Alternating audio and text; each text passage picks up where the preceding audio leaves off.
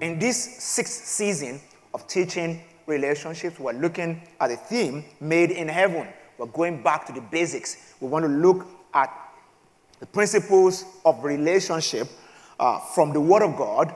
Uh, this will be applicable to both married and singles, wherever you are in your life right now. I want you to know that you are on God's mind and He has a plan for you. So, if you are a single mother, God is watching out for you. He's watching out for you right now. He's watching out for you right now. You remember the woman that met the prophet Elijah in the Bible that said, uh, You know, my husband is now dead, and the creditors have come to take my son. God intervened for that woman. God is looking out for single mothers. Yeah. And He wants you to be able to move on also. And single fathers also. God wants you to be able to move on. So, as we teach these relationship principles, I want you to open up your mind. If you're widowed, I, also want you to know that God wants to meet you where you are, male or female. God has a plan for your life. Read the book of Ruth.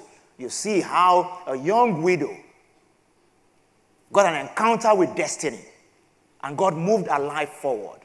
A divine connection with a man of covenant, Boaz, and her life changed. And then she got into the lineage of, of, of Jesus Christ. That's God's God has a plan for everybody. If you are divorced, God has a plan for your life. I was just having a quiet chat with the Holy Spirit in my heart a few days ago.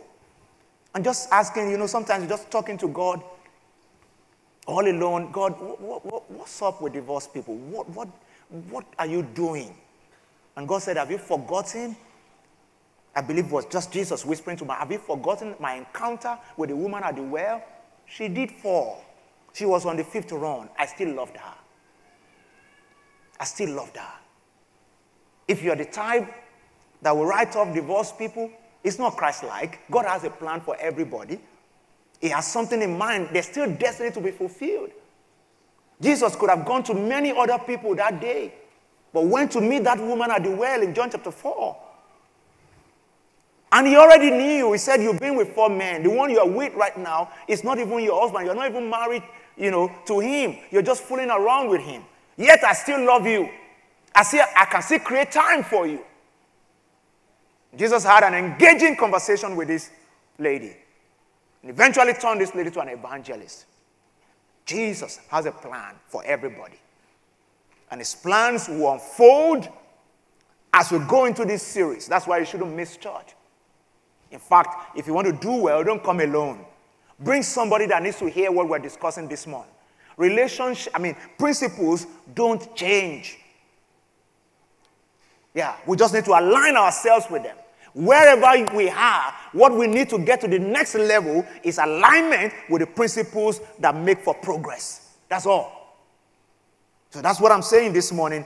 Wherever you are, God has something for you in this series. If you're in a troubled marriage, Jesus is the one that calms the troubled waters.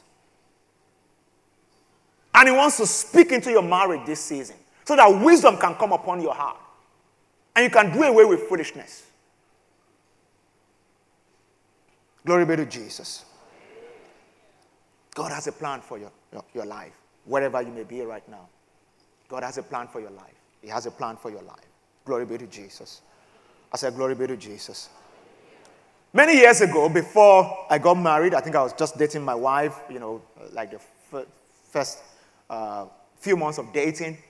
But I'd, I'd made up my mind that that's the person I would marry. And we were already planning a date. I think I'd met, I'd met her parents already. And, you know, I started, I'd already started saving up for the wedding rings and all those stuff. And then I was in my office then at Daystar Christian Center this particular day, and a lady came in for counseling. And she was, you know, ushered into my office and sat in front of me. And at that time, she was, that week was her 10th wedding anniversary. She started telling me the story. How her husband left home from the day before the wedding anniversary and did not return until two days later. And all effort to reach him, to even wish him happy wedding anniversary, was futile. Yeah. The guy had, you know, in his mind had gone completely.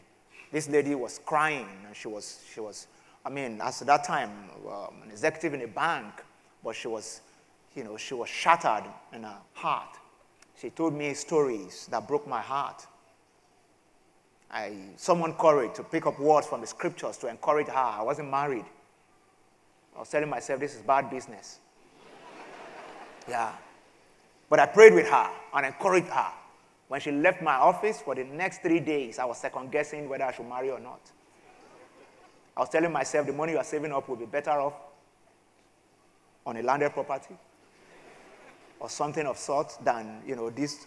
I, I, I, I started losing courage.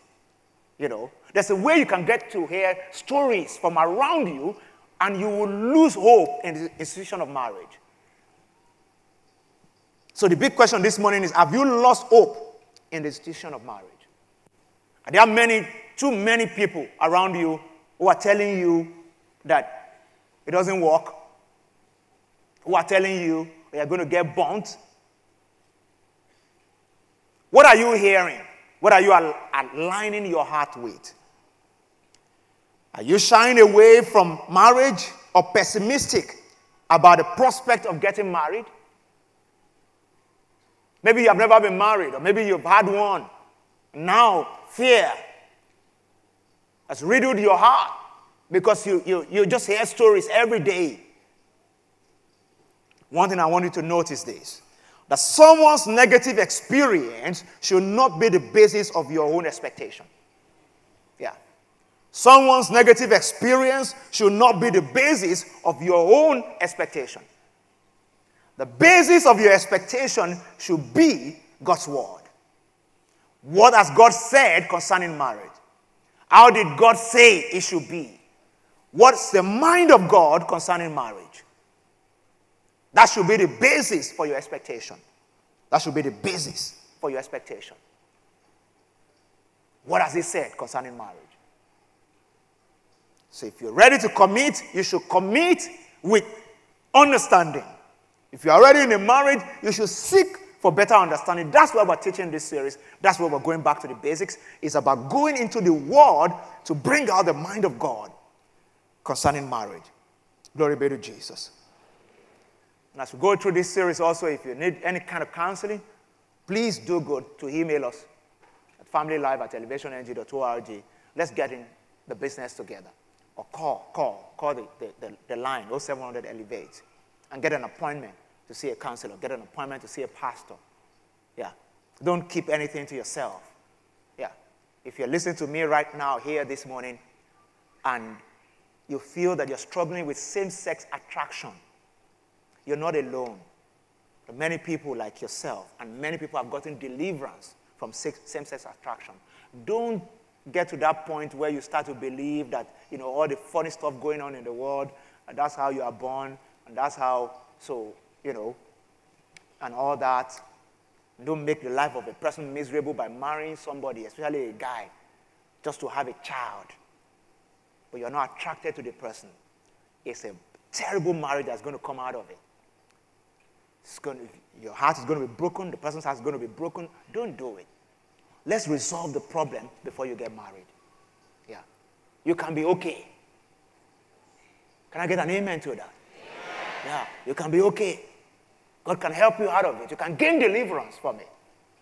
God can heal you from that inordinate affection. I've seen it happen.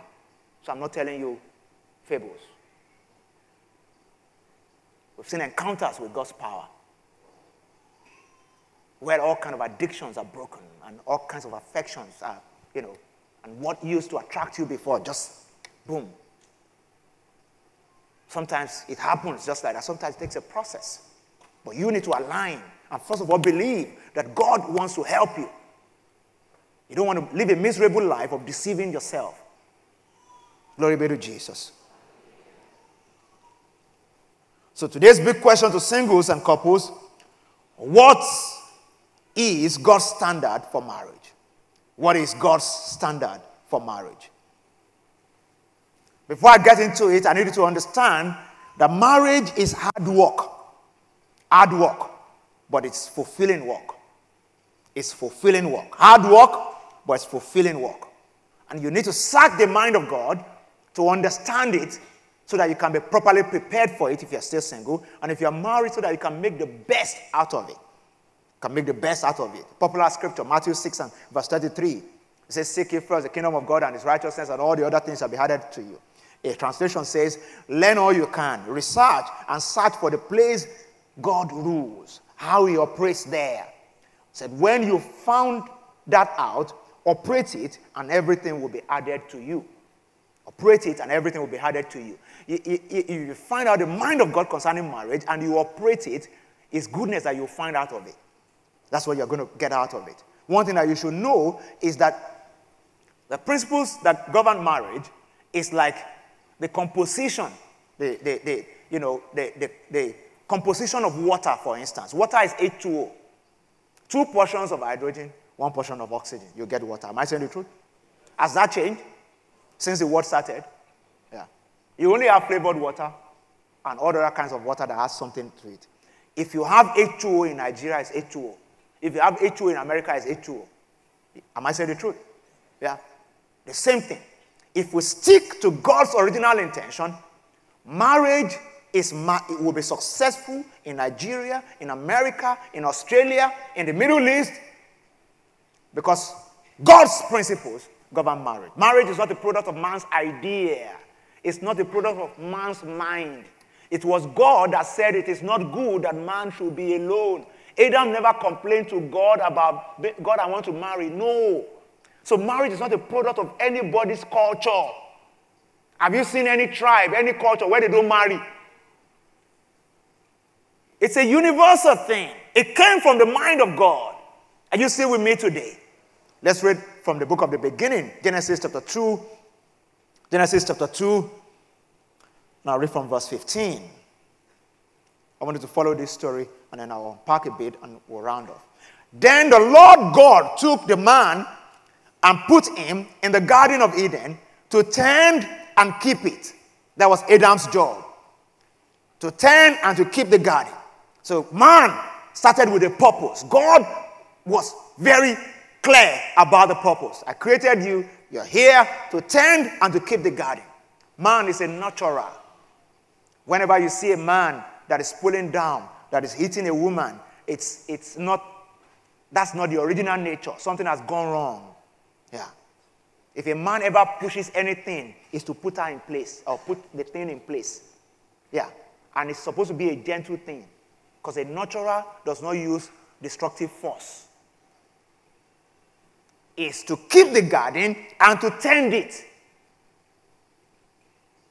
That was the first assignment. Keep the garden and tend it. And the Lord God commanded the man, saying, Of the tree of the, garden you may freely eat, but of the tree of knowledge of good and evil uh, um, you, you should not eat. The day you eat, you surely die, and all that. And the Lord God said, Look at that.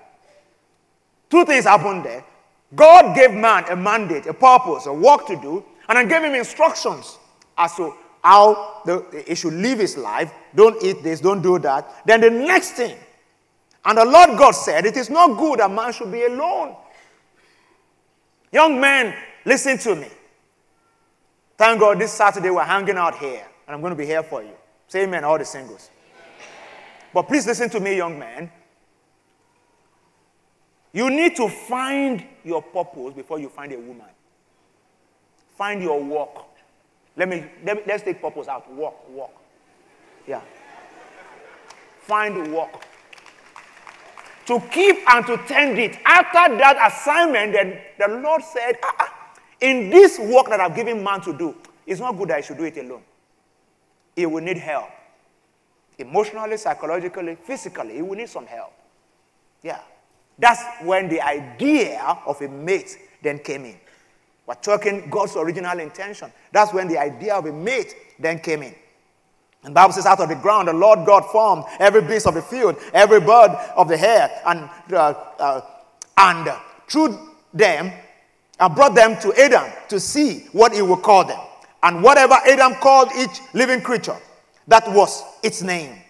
So Adam gave names to all cattle, all the birds of the air, and to every beast of the field.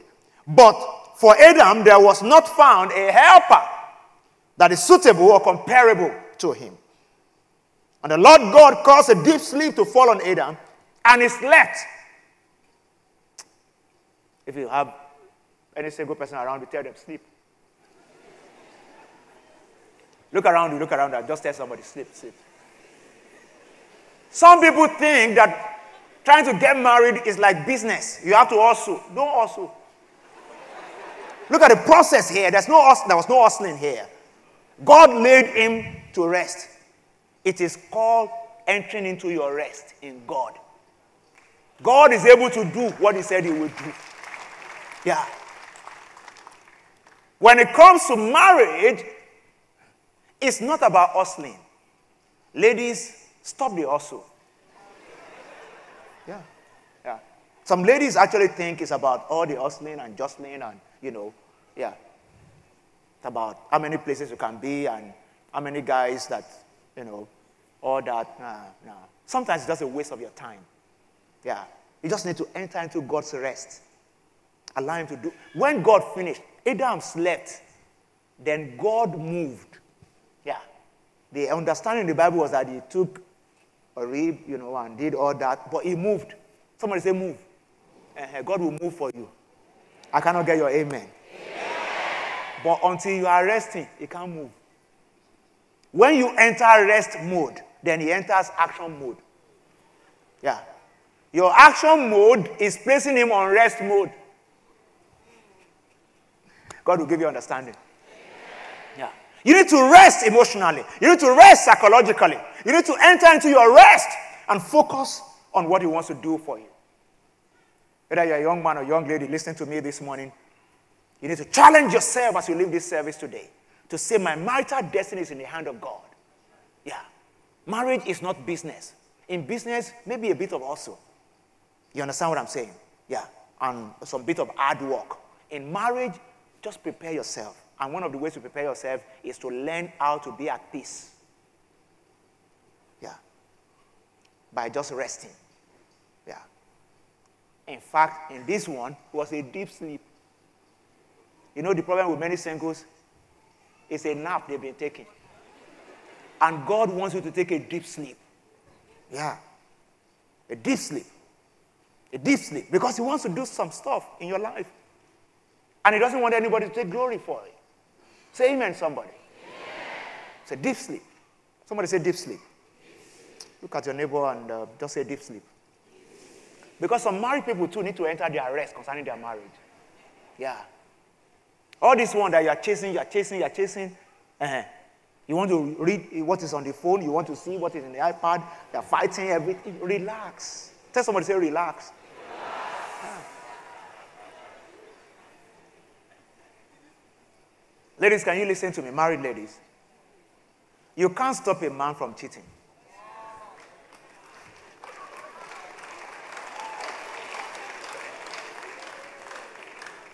Yeah. If you like, wake up in the middle of the night, you know, there's one video that, is, that was going viral. One lady that was trying to use the guy's finger to open his phone. He didn't know that the guy used a dog to lock it. A dog fingerprint, their dog, to lock the phone. Yeah.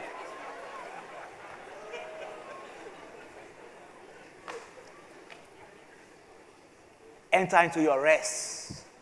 Yeah. Guys, be secured. Yeah, I know you are dating a beautiful lady. Doesn't mean you should follow her everywhere. Yeah. Because that's a problem sometimes. And because of our own insecurities, we push our spouses out of line. Because sometimes somebody can get frustrated because you are too nosy. And you refuse to enter into your rest concerning the marriage that God has given you. It's in that sleep mode that God moves. Go and read the book of Hebrews. God always telling his people, enter into your rest. He said, He that entered into his rest has ceased from his own works. And then God starts to do his own works. Somebody say with me this morning. Tap somebody and tell them, enter your rest. Say, I mean deep sleep, this please, this sleep. Yeah, don't take a nap, sleep well. praise God. I said, praise God. So, when Adam woke up here, what happened was that the Lord has created a woman. Verse 22. The rib which the Lord God had taken from a man, he made into a woman, and he brought her to, to man. And Adam saw, Adam said, This is now the bone of my bone and flesh of my flesh. She shall be called woman, because she was taken out of man. And therefore shall a man leave his father and mother and cleave to his wife. We're going to be discussing that maybe next week. Boundaries. Cleave to his wife. And the two shall become, yeah. Two shall become one. Glory be to God. I said, Glory be to God. A few things as I round off. One, because marriage is not a product of man's mind, it's from the mind of God, you need to read the Bible if you want to be successful at marriage. Everything is sustained from a source. You want to sustain a fish, provide water because it came from water. Am I saying the truth? You want to sustain a human being, you give food because we came from the ground. Yeah. The food that came from the ground. That's why they're saying now don't eat organ, uh, inorganic food. The one that does not come from the ground, it, will, it can harm the body. Am I saying the truth? Yeah. Everything that comes from the ground is what sustains us and sustains us well. This one that we are mixing all kinds of things with it. Let's go back to marriage 1.0. Yeah. First generation. According to the book of Genesis. Some people are now on 8.0. Some people like iOS 10.3. Yes. All kinds of marriages, all kinds of ideas. Do this and do that. In certain climes, prenuptial agreements, and even Christians are doing that. Yet the Bible says that a man's life does not consist in abundance of the things that he possesses. By the time you are doing prenuptial agreement, that means your life is about what you own. And you want this person to have a part of it and not a part. Am I saying the truth? That's not marriage. That's not 1.0. Maybe that's 5.0. Because things have evolved. Man marrying man, woman marrying woman. That one is 12 point something. yeah. But male and female created Eden. Yeah. Not male and male. It's not Adam and Steve, it's Adam and Eve. Yeah. Somebody say with me this morning. Yeah. So read the Bible. It has God's original intention. And it has not changed. Not at all. It has not changed. It has not changed. It has not changed. Just like water. Water doesn't change. It's the same water. It's H2O. Yeah. It doesn't change, except it's something else. Secondly, seek God's presence and instruction. Seek God's presence and instruction. When God put the man in the garden, the Bible says at the, the, at the cool of the day, God will come and fellowship with man and woman. Singles, listen to me this morning. If you cannot enjoy God's presence as singles, if you cannot cultivate His presence while you are still single, you're going to find it difficult in marriage. Because marriage will place more demands on you. If you are struggling to pray now, please master your prayer life before you marry. If not, you won't have any after marriage. You have zero prayer life after marriage. If you're struggling with reading the Bible now, if you're struggling with worshiping God on your own right now and having His divine presence come into your life, Sort it out before you make somebody's life miserable. Yeah. Because to, to, to, to understand kingdom marriage, you need to seek God's presence and God's instruction. Is somebody still with me today? Bible says in Ecclesiastes chapter uh, 4 and verse 12, he said, even if one is down, he said the other one will pull him up. He said, though one may be overpowered by another, two can withstand him, and a threefold cord is not quickly broken. And the third cord there is God. You need to keep bringing God into your life. To make sense of marriage, you have to understand that God has to be present in your life. Thirdly, be committed to God's purpose. I showed us, you know, in the scripture that we read, God had a purpose. See, people don't just meet, they meet according to God's divine ordination. Today, I hear people come to me and say stuff like, um, I'm better, better off being single than remaining married to this person. Uh, you know, all kinds of things. Did you ask yourself at the beginning, what does God have in mind for this? Yeah. Purpose, purpose, purpose, purpose, purpose. If you don't think purpose, you will break a marriage anyhow. Yeah. Somebody can annoy you and you walk out. But if you know that the purpose is bigger than both of us, It's not about me, it's about God's purpose, first and foremost. And I want to align with God's purpose. So I'm going to stick it out and endure. If you are not thinking purpose, marriage, your marriage cannot last. You have to think that God has a purpose. He has a purpose. He has a purpose for this relationship. God has a purpose for this relationship. He has a purpose for this relationship. He has a purpose for this relationship. One big idea about marriage. I have like uh, four or five here, maybe next week or in another service, we, we deal with this. I did, dealt with two in the last service. One is that marriage shows the relationship between Christ and the church, according to Ephesians chapter 5 and verse 32. The way Christ loved the church is the way a man or a woman should love the spouse. So Jesus will not beat the church. Jesus will always forgive the church. Jesus will never leave you nor forsake you. That's what we sang this morning. That's the idea. The Bible says that marriage is a mystery. It's, it's a, Paul writing there in Ephesians 5 and, and 32. He said, I speak. He said, but this is a great mystery. But I speak concerning Christ and the church. Christ and the church. When you understand that is deeper than what we think. That just like Christ is the bride of the, or, I mean, church is the bride of Christ. When a man meets a woman, it's the typology of Christ and the church. It's beyond sex or flowers. These are just to color it, to flavor it. The real thing is that God wants to show us how Christ relates with the church. And that's why it gives us an opportunity to be able to marry. So we can see it. That is tough. That Christ endures a lot to be able to take you and I in.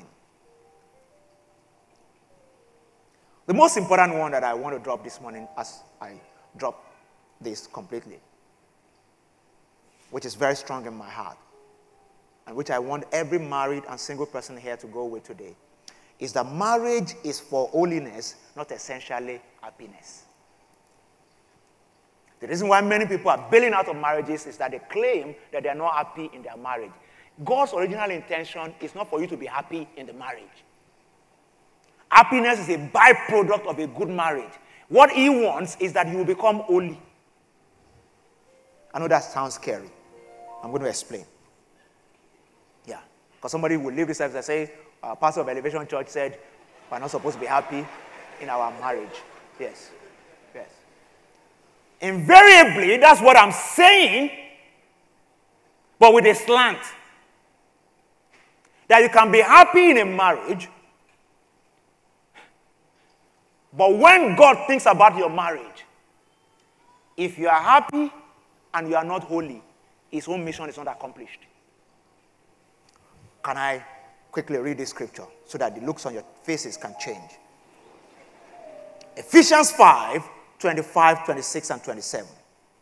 Husbands, love your wife, even as Christ also loved the church and he gave himself for her that he might do what? Sanctify her. Sanctify means to set her apart or set him apart for purpose. That he may sanctify and cleanse it with the washing of the water by the word, that he might present to himself a glorious church, not having spot or wrinkle or any such thing, but that it should be holy and without blemish. holy and without blemish. The process of removing blemish from anything will not always be happy. Process. Have you seen when there's some preparing wood before to remove blemish, to make it shine? That's what happens when we brush against each other. All this one that people are running, you want to run out of marriage because you're feeling some bit of you know, discomfort and pain. It's part of the package.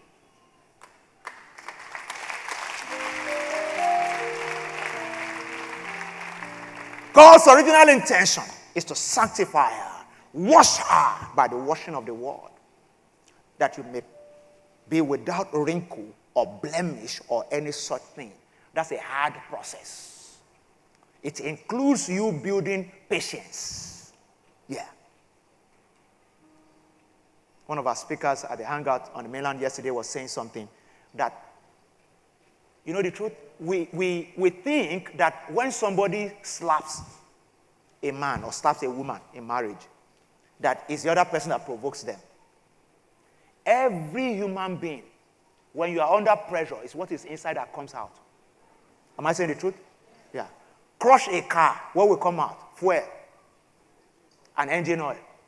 If there's no human being inside it, you can't find blood because there's no blood inside it. Am I saying the truth? And that's when it's under pressure. When you press a human being, it's blood that will come out. Am I saying the truth? Yeah. Press anything, it's what is inside that will come out. When you come under pressure, if slap is not inside you, it won't come out. You walk away.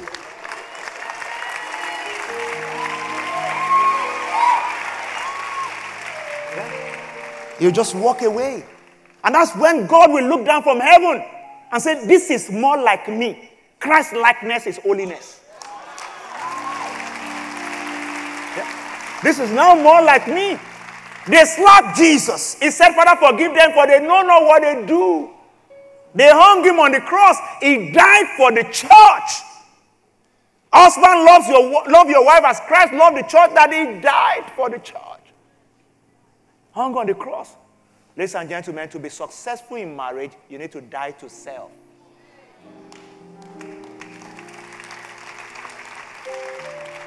Only dead people, people who are dead to self, to your idiosyncrasies. Yeah. Those are the people that can succeed in marriage. And that's that process of Christ likeness. They pierced him, put a crown of thorn on his head. Yet he was committed to dying for his bride, the church. If you don't understand all this, you can't make a success out of any marriage. Telling you the truth. This generation needs to understand what I'm talking about this morning. And quit looking for only happiness in marriage. God wants you to change. He wants you to become a better person. Someone is going to annoy you, drive you crazy, like they did to Jesus. He was wounded for our transgression, bruised for our iniquities. The chastisement of our peace was upon him. Yet, Father, forgive them, for they do not know what they do. Only dead people, people who are dead to self, can make a success out of marriage. And that's when the goodness starts to come out. And then you'll be happy. Yeah. But you get into it looking for happiness, it's a long thing. It's a long thing. Lift your two hands to Jesus this morning and just receive wisdom in this atmosphere. We have taught His word this morning with revelation knowledge. So grace is here, wisdom is here, the blessings of God are here, peace is here. So if there's anyone here this morning, you came in without peace in your heart concerning your marriage, will you receive peace right now? Will you receive peace right now? Receive the wisdom of God right now. Somebody lift your hand and say, I receive grace. Grace to walk through the process. Grace to become Christ like. Now that I know that this is God's intention for me. Grace not to quit. Grace not to run away.